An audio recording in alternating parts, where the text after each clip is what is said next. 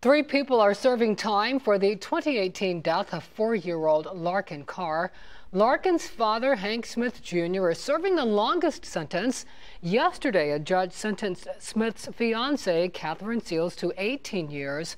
The shortest sentence was given to Seals' teenage son, who beat Larkin to death. 10 on your side's investigative reporter Chris Horne looks into the differences in the sentences. And the big difference is between the sentence for Larkin's father, Hank Smith, and the teen who beat the child to death and pleaded guilty. That's upsetting Smith's attorney, but the Commonwealth's attorney says there's good reason.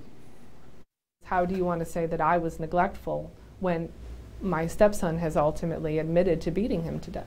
But a Norfolk jury decided that Hank Smith was neglectful in the death of his son, four year old Larkin Carr. He and his fiancee, Catherine Seals, had left Larkin in the care of her 14 year old son, Robert Bolsinger Hartshorn, who later admitted to beating Larkin with a chair and by punching it. Smith and Seals were both convicted of felony homicide. Smith got 21 years in prison, Seals 18 different judges, but both were outraged that the adults did not seek medical help for Larkin until it was too late. Everyone forgets Larkin's symptoms improved from Friday to Saturday, to Saturday to Sunday, to Sunday to Monday. Mm-hmm. Until an actual parenting coach was in the home on Monday, the day that he died, and saw him and said he was fine. Commonwealth's attorney Ramin Fatehi says the adult's failure to take Larkin to the hospital when he was vomiting and had diarrhea was depraved indifference and made them just as responsible as if they had left a loaded gun around the house. But Smith's attorney says her client got the heaviest sentence, even though the teenager was the direct cause of Larkin's death. The, the system allows for Robbie to have a juvenile sentence until he's 21 and then an additional adult sentence. It's called a serious offender.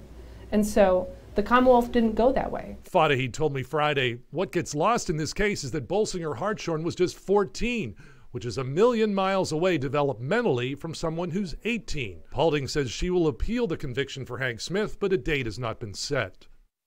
And finally, he says even if the teen had been sentenced as a serious offender that Paulding suggested, he would be up for review in two years. And at that point, a judge could have determined that he was doing well enough to be released.